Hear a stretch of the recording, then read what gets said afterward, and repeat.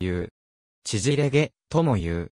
人工的に作り出すパーマネントウェーブの手法が開発され、自然の宿毛のことを天然パーマというレトロニムで呼ばれることもある。宿毛は遺伝により起こるとされており、毛のタンパク質がずれた形で SS 結合を起こすことによって髪全体の縮れが起きるとされる。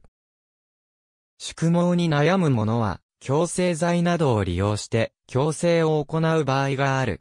しかし、近年ではそれらの治療の危険性も指摘されており、問題となっている。詳しくは、宿毛矯正を参照。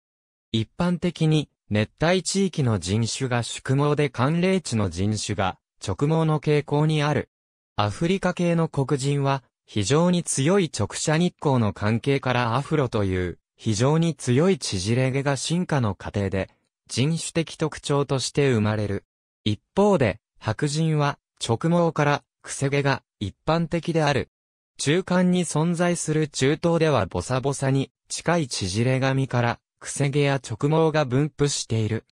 一方で、アフリカから非常に遠い東洋は直毛が一般的であるが、日本でも天パという表現があるように、アジア人の中にも癖毛や縮れ毛の遺伝を持った人が存在する。奴隷としてアフリカからアメリカ大陸に連れてこられたアフリカ系のアメリカ人の間では特に人種差別の観点から肌の黒さ、鼻の大きさ、唇の太さ、アフロなどの黒人の人種的特徴が醜い条件とされ、それが黒人の間でも長らく常識とされていた。ただし市民権運動の啓蒙活動の一環で、 Black is beautiful と主張されるようになる。しかし特に黒人女性の間では、アフロの髪型は女性的でないなどの感覚、偏見、美意識などが存在し髪に対する扱いは複雑である。現在でも女性で膨れる丸いアフロの髪型は稀であるが、ドレッドのように縮れ毛で長毛にするなどの工夫がある。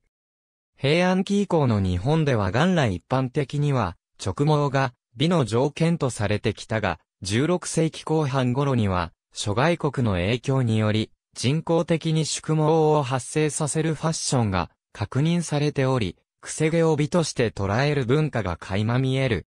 また、特に70年代、アメリカのロックやブルースなどのアフリカ系のアメリカ人の大衆音楽が世界を席巻した時は、かっこいいということで男性の間で髪型を縮れ毛にするなどの現象が見られた。文献的には、源氏物語うつせみの巻に、のきばおぎの髪の描写として、ねじけたるところなくと強調しており、裏を返すと、宿毛の女性がいたことを表し、絵画資料的には、オブスマッサブローエ言葉に、宿毛の女性が描かれている。皮膚医学の観点からは、日本人の10人中約半数は、宿毛の性質を持つとも言われる。ありがとうございます。